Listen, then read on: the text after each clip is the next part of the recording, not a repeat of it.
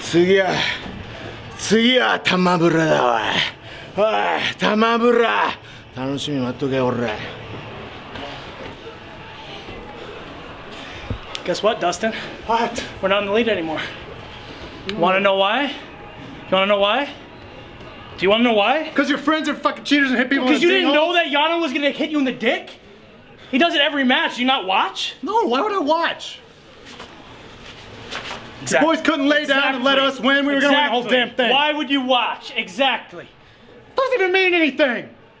Your stupid fucking headband and your dumb face. We're not friends anymore.